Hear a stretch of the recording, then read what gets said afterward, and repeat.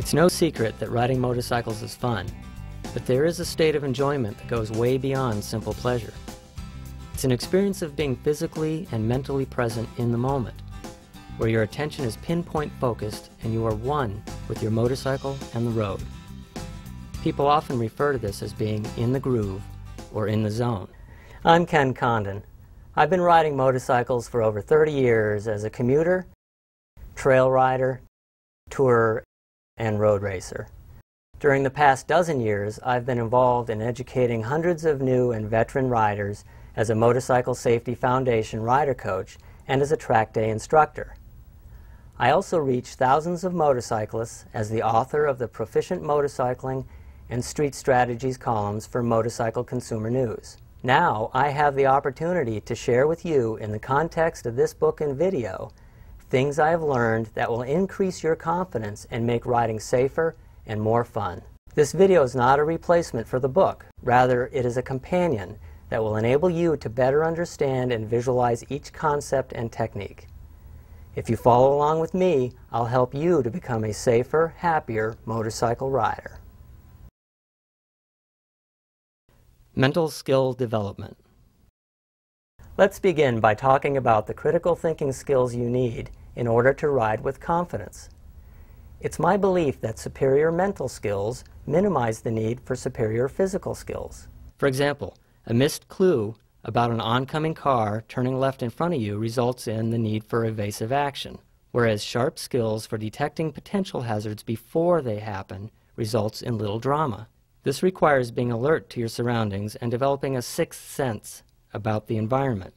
By recognizing when something seems out of place, you can respond swiftly to minimize danger. One of the most common traffic hazards you face as a motorcyclist is an oncoming vehicle turning left across your lane at an intersection. A few strategies you might use to avoid a collision with a left turner are slowing as you approach intersections, covering your brakes in preparation for a quick stop, and planning ahead for a possible escape route. Safe following distances and effective lane positioning are other important tactics for avoiding collisions. You must develop a sharp sense of where to position yourself so other drivers can see you and so you can see them. Proper lane positioning also allows you to maintain space between you and surrounding hazards. Perhaps the most effective strategy for being safe is to ride at speeds that are considered reasonable for the conditions. It's also important to ride at expected speeds. If you approach an intersection 5 or 10 miles per hour faster than what other drivers would consider normal, you shouldn't be surprised when a driver proceeds into your path thinking he or she had enough time to make it. Vision. We can't manage risk effectively without dependable and timely information. Our most reliable sense for assessing danger is our eyesight. Our eyes scan the riding environment and send a signal to the brain telling us whether the picture that you see through your face shield hints of a threat or not. Visual information tells you whether you are approaching a corner too fast or whether a car might collide with you. Gather as much critical information as possible by scanning left, right, and down at the road surface to identify possible hazards. Also, don't forget to scan your mirrors. Your vision also helps you achieve cornering confidence through visual direction control. Visual direction control is essentially letting your eyes tell your mind where you want your motorcycle to go next. Train yourself to turn your head and point your vision through the corner toward the exit. Look where you want to go. Visual direction control is great for helping direct your motorcycle, but it can be a problem if your eyes fixate on what you perceive as a threat. This is commonly called target fixation. The problem with target fixation is that your eyes and attention tend to steer your motorcycle directly toward what you're looking at, whether that is a car crossing your path or the outside edge of a corner. Look at the solution, not the problem. Traction Sense In this segment, I'll talk about traction and how you can develop a traction sense. Your traction sense is based on factors that affect the quality and quantity of available traction. These factors include tire condition, tire temperature, road temperature, and tire load. Traction is also affected by pavement condition and surface quality. With these factors in mind, you are able to determine just how much you can accelerate, brake, and corner while maintaining traction. The first step in developing this sense is to understand that any one of these forces can eat up the entire limit of available tire grip. Driving forces from acceleration can spin the rear wheel. Side forces from cornering can cause a slide, and braking force can cause a front or rear tire skid. If you execute any two of these actions at the same time, you increase the risk of a fall. For example, if you use 90% of the available traction for braking, there's only 10% of the grip remaining to turn or perform an evasive maneuver such as a swerve. The amount of traction available also depends on how much weight is pressing the tires onto the road. For instance, hard braking shifts weight forward, which presses the front tire onto the road surface and increases front tire grip.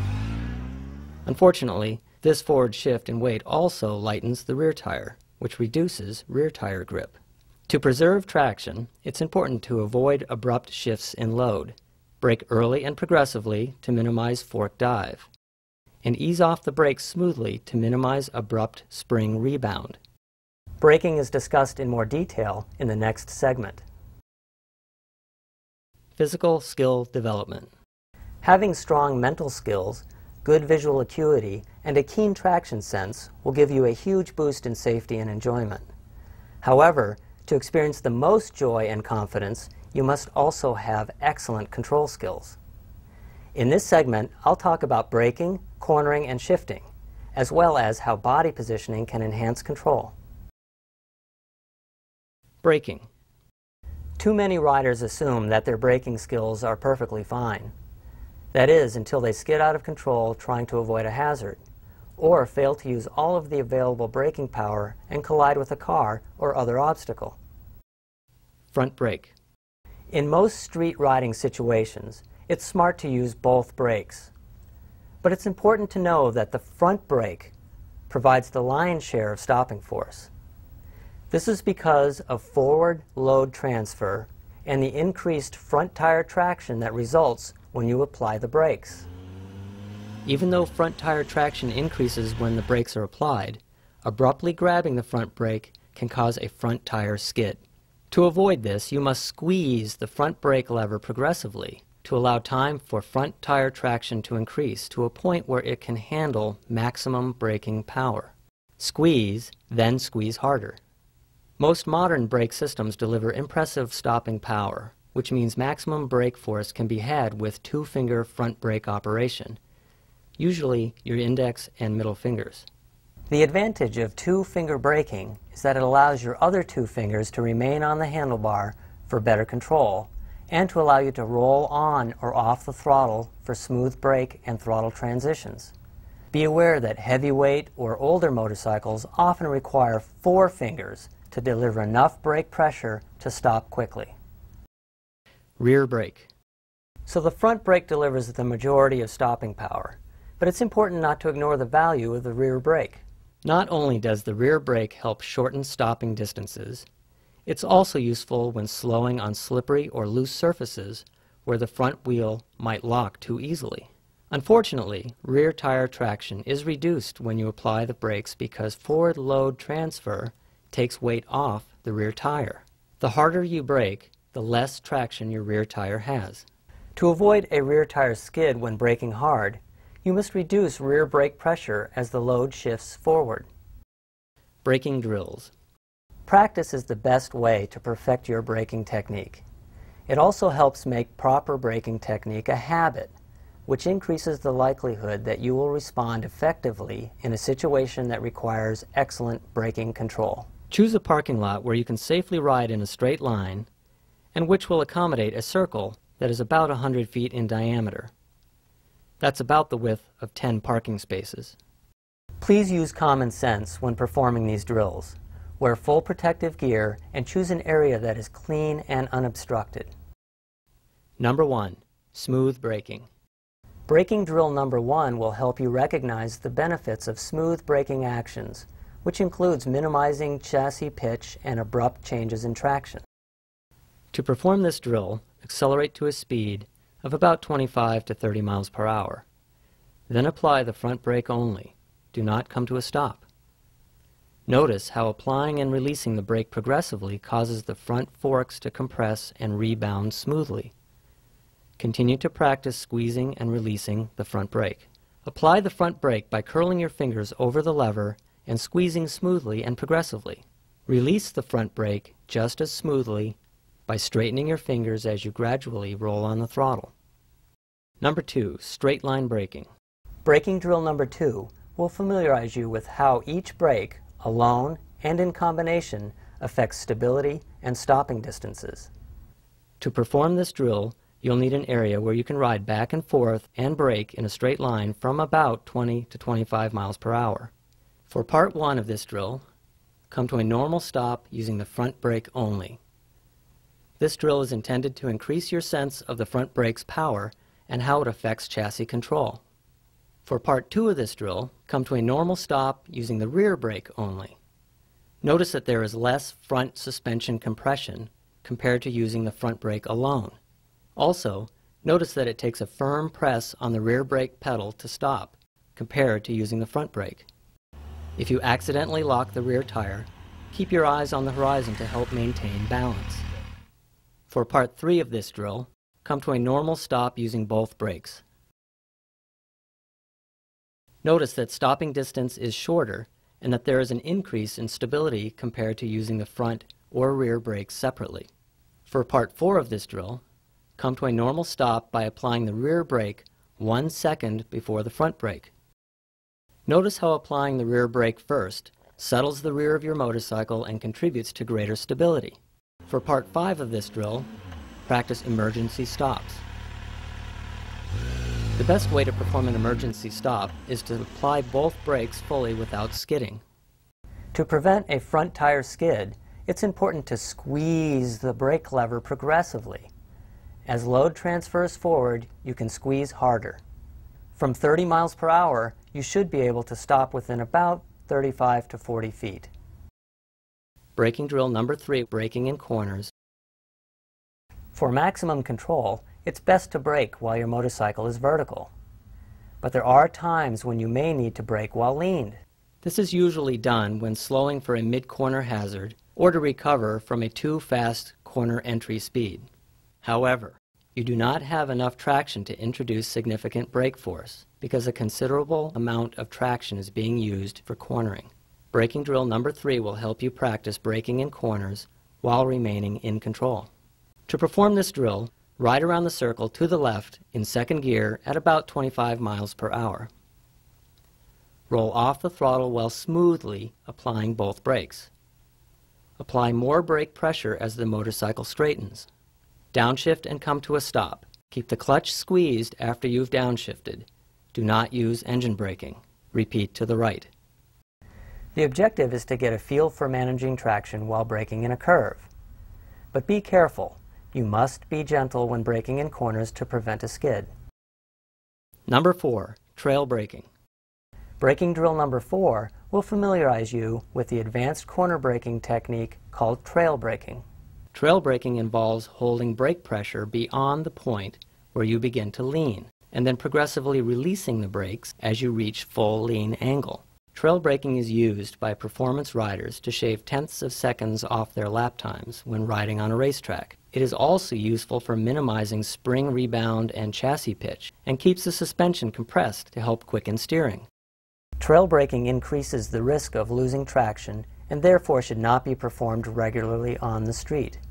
However, it can be useful for street riders as a way to salvage a corner entry that's too fast. To perform this drill, approach the curve and then brake smoothly yet firmly as you lean. Ease off the brakes completely before you reach full lean and then smoothly roll on the throttle. You must be gentle when braking in corners to prevent a skid. Practice these braking techniques often so they grow to be a natural part of your everyday riding skills. Cornering confidence. In this segment, I'm going to talk about one of the most satisfying aspects of motorcycling, cornering. After all, not much can match the feeling of leaning into a turn, carving the perfect line, and accelerating to the next corner. Part of the reason cornering is so much fun is that it's challenging. Unfortunately, Some riders find cornering to be too challenging. The majority of single vehicle crashes involve riders who were unable to negotiate a corner successfully. The first step in strengthening your cornering skills is to understand how your motorcycle turns. Countersteering. All riders understand that motorcycles change direction by leaning, but many struggle with cornering because they do not understand exactly how to get their motorcycle to lean. You may have heard some riders talk about using their body to lean their motorcycle, but body positioning does little to help initiate lean. The best way to initiate lean is to use handlebar pressure, also known as countersteering. The basic countersteering method involves pressing on the right handlebar to cause the motorcycle to lean right, or pressing on the left handlebar to cause the motorcycle to lean left. You're not alone if countersteering confuses you. After all, it is counterintuitive to press the handlebars in a way that appears to steer the front wheel in the opposite direction that you want to go. But it is true that pressing on the handle grip on the side that you want to go causes the motorcycle to lean in that direction. I talk more about countersteering in Chapter 8 of the book. Here are a few tips that can help you refine your countersteering technique. For maximum countersteering efficiency, Direct your arm motion mostly forward rather than down. Avoid pressing forward on both handlebars, which defeats the effectiveness of countersteering. Relax your arms once the desired lean angle is achieved. Only minor handlebar pressure should be required to maintain your cornering path. If you find yourself in a situation where you must lean further, press harder on the inside hand grip. Cornering drill number one will give you an opportunity to practice countersteering. Cornering plan. Now that you know how your motorcycle turns, let's talk about developing what I call a cornering plan. A cornering plan helps you make good decisions about your entry speed and path through the turn. You already use cornering plans, but if you're like a lot of riders, you do so unconsciously. A cornering plan helps you determine the locations where you will brake, turn, and accelerate and is based on the corner characteristics, which include corner radius, road camber, slope, and pavement condition. A cornering plan also helps you determine the best path through turns, also known as the cornering line. The basic cornering line is an outside, inside, outside path of travel. This path provides a better angle of view and straightens the turn to help preserve traction. One variation on the basic cornering line is the delayed apex line. The delayed apex line usually requires a delayed turn-in location and a quicker, more forceful countersteer. This path allows you to see even farther into the turn and provides the added benefit of pointing your motorcycle toward the curve's exit rather than at the edge of the road. This is particularly helpful when managing curves that get tighter toward the exit. Take a look at Chapter 8 of the book for more information on cornering lines. Cornering actions. Next, I will talk about the physical actions necessary to execute corners successfully. Cornering involves four basic actions. Adjusting your entry speed, looking through the turn, leaning your motorcycle, and accelerating throughout the curve. The first cornering action is adjusting your corner entry speed. Your choice of a suitable entry speed is determined by corner characteristics and surface conditions, as well as your cornering ability. The second cornering action is looking through the turn. Looking well ahead allows you to spot mid-corner hazards, but it also helps you direct your motorcycle through the turn. Visual direction control is the term used to describe the tendency to go where you look. So, look where you want to go.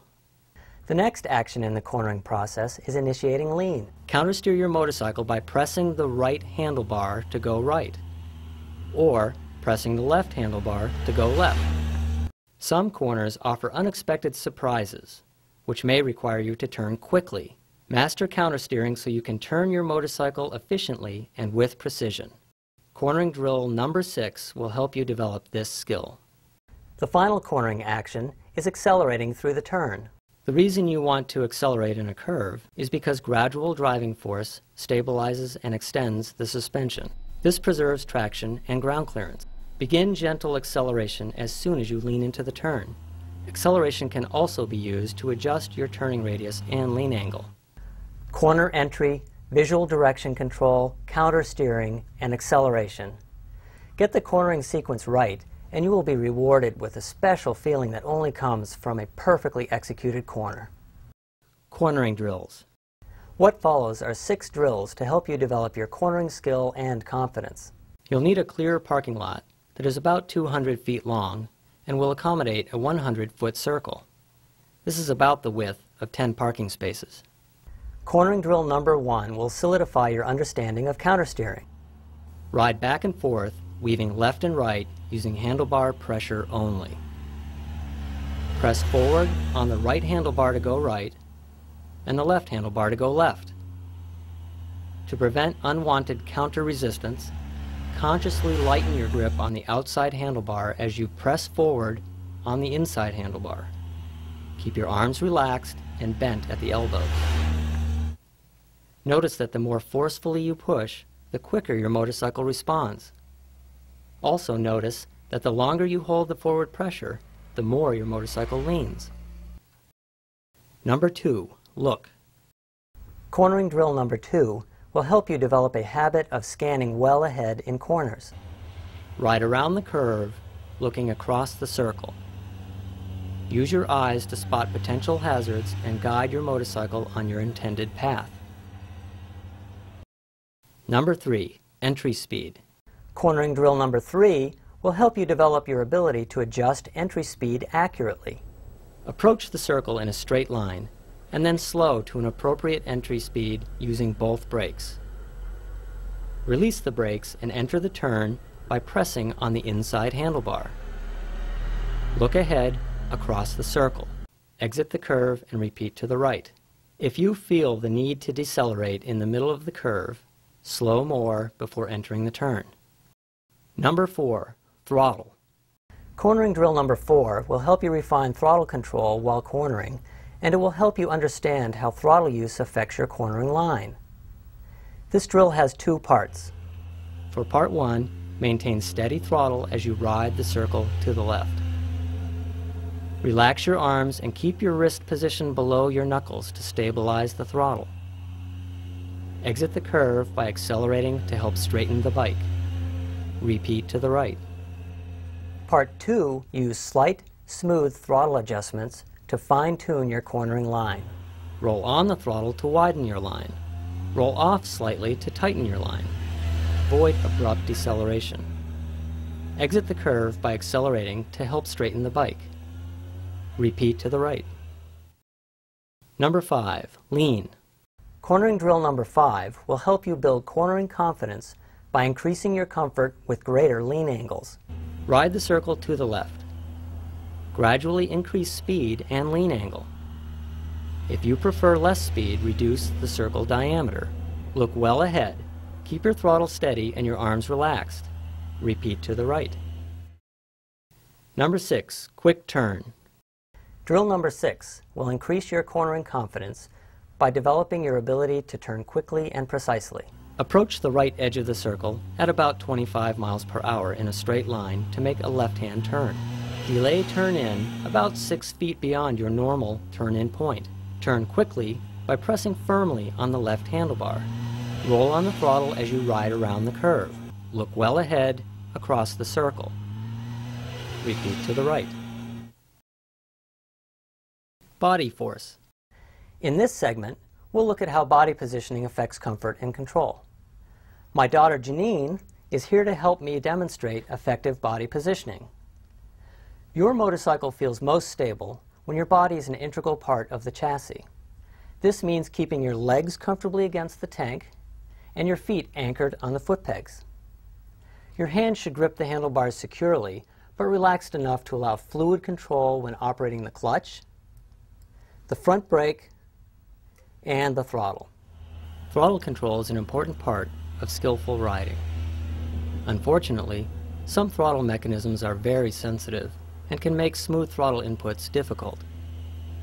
To help achieve precise throttle control, position your wrist low to restrict throttle grip movement. You can also anchor your thumb or forefinger on the handlebar control pod. These tips are very useful when doing slow maneuvers that demand precise throttle control. One of the most important parts of your body to position correctly is your arms. Relaxed arms allow your motorcycle steering and suspension to respond fluidly to road surface irregularities. This preserves traction and allows your bike to corner predictably. Many riders fight their motorcycle's natural tendency to corner, which usually results in poor handling. It's the rider's job simply to initiate lean and then relax to limit unnecessary inputs that can upset handling. Test how relaxed your arms are by flapping your elbows. If your arms don't move easily, you're probably too tense. Positioning your body off the inside of the motorcycle has several benefits. It helps the bike turn, it increases ground clearance, and it enhances the interaction between you and your motorcycle. Shifting the combined center of gravity of body and bike toward the center of the turn allows your motorcycle to remain more upright for a given speed and turn radius. The most extreme example of body positioning is when a rider hangs off. This technique is very useful for high performance riders and racers who need maximum maneuverability and cornering clearance. Regular street riders can also benefit from hanging off including cruiser riders whose low slung machines can easily drag hard parts when cornering. There are three levels of the hanging off technique. Each level affects cornering to varying degrees and is useful for different situations. Body position drill number one allows you to become familiar with the basic hang-off technique. Position your head and shoulders off-center toward the inside of the turn. Your shoulders should be perpendicular to the motorcycle and your chin should be over your inside arm. Strive for a position that allows your arms to be relaxed. Practice the basic hang-off technique by riding around the circle. Remember to look through the curve. Body position drill number two will help you develop the intermediate hang-off technique, which is useful when cornering a bit more aggressively. This technique is performed by simply rocking your hips to weight your inside butt cheek. Rock your hips to the left for left-hand turns and right for right-hand turns. Allow your shoulders and chin to naturally follow your hips. Practice the technique by riding around the circle. Remember to relax your arms and look through the curve. Body position drill number three will allow you to practice the full hang-off technique. The full hang-off technique is done by positioning one full butt cheek off the edge of the seat. Here are some tips for refining your full hang-off position. Position the ball of your inside foot on the foot peg to avoid dragging a toe. Lift and sit rather than slide. Find a position on the seat that allows firm contact between your legs and the gas tank so your arms can be relaxed with a light grip on the handlebars. Keep your inside shoulder and elbow low. You can even rest your outside arm on the gas tank for maximum relaxation. Your inside leg can be kept close to the bike or allowed to drop toward the pavement in position to drag a knee. Resist hanging off more than necessary. It may look cool, but adds little benefit and will contribute to fatigue. And finally, position yourself early to minimize chassis instability at the moment of turn-in. Practice the full hang-off technique by riding around the circle. Remember to relax your arms and look through the curve. Hanging off is useful when maximum traction or ground clearance is necessary, but keep in mind that hanging off fully on the street is mostly a waste of energy and can draw unwanted attention. And if you're riding fast enough on the street that you feel you need to hang off fully, then you should consider an environment that is hospitable to fast riding, the racetrack. Shifting and clutch control. Smooth, skillful gear shifts keep your motorcycle stable and contribute to an overall sense of mastery. Downshifting. Skillful downshifting technique is critical for maintaining control because poor downshifting can cause your rear tire to skid from excessive engine braking. To avoid rough transitions, ease out the clutch lever slowly. This allows the engine RPMs to rise gradually. You can help the process by keeping the throttle partly opened so that the RPMs remain elevated to match the lower gear ratio when the clutch is released. Another way to elevate RPMs is to blip the throttle while downshifting. Throttle blipping is performed by quickly twisting the throttle on and off during the downshift while the clutch is squeezed. This can be done in conjunction with either a slow or rapid clutch release. The point is to get engine RPMs matched to the lower gear ratio before releasing the clutch. Upshifting. Poor shifting technique has less effect on traction and control, but skillful upshifting is important for providing smooth shifting transitions and a feeling of riding mastery. Some riders go through the upshifting procedure in a leisurely manner. However, this can result in jerky gear shifting transitions. The problem with slow shifting is that it allows the engine RPMs to drop significantly, which makes matching engine speed to the road speed more difficult when the clutch is released. To minimize excessive RPM drops, upshift quickly. Do this by rolling off the throttle slightly and squeezing the clutch lever only partially as you quickly click the transmission into the next gear. I have two shifting drills to help you improve your upshifting and downshifting technique. Shifting drill number one will help you master quick upshifts for smooth shifting transitions. Here are some tips to help you perform this drill. Before shifting, apply light pressure to the underside of the shift lever for quick lever action. Roll off the throttle only slightly and squeeze the clutch lever only about 50% of its travel. For even quicker upshifts and the least power interruption, high-performance street riders and road racers use the clutchless upshift technique. This technique uses the same steps of a quick upshift except without using the clutch. Shifting drill number two, what I call the double downshift drill, will help you master smooth downshifts. Downshifting twice introduces an extreme difference in engine speed compared to road speed, requiring careful timing and modulation when releasing the clutch. Ride in a straight line in third gear. Roll off the throttle to reduce speed, then squeeze the clutch and downshift twice. Ease out the clutch very slowly to re-engage power smoothly and avoid skidding the rear wheel. You shift hundreds of times during a typical ride. Strive for smooth shifting each and every time, and you'll be rewarded with a feeling of oneness with your bike. Continuing Ed the topics and techniques we've covered in this video are intended to help you manage your riding environment and achieve better control of your motorcycle. For more skill development and practice, I recommend that you sign up for a motorcycle safety course where you can get immediate feedback from an instructor who is trained to spot problems and offer solutions. Practicing in a parking lot is a terrific way to learn new techniques, but you'll want to put these techniques into practice on the street as soon as possible. Each and every ride you take provides an opportunity for you to develop your mental skills and improve overall control of your motorcycle. Even though the techniques described in this book and video are appropriate for the street, be conscious that the street has many unpredictable variables compared to a parking lot. Therefore, you must carefully choose when and where to experiment or stretch your limits. The absolute best place to develop and refine advanced braking and cornering techniques is on the racetrack at a track day or track school. Before you dismiss this, understand that these are not race events. Track schools provide a great way for you to develop your skills without the typical dangers of street riding. I hope this video will help you to elevate your riding to a higher level. Refer to the book for more details about the topics covered in this video. And don't forget to practice. Making these techniques a permanent part of your skill set takes continual practice over weeks, months, and years. With a bit of effort, you will find yourself experiencing greater enjoyment and confidence. That's what I call riding in the zone.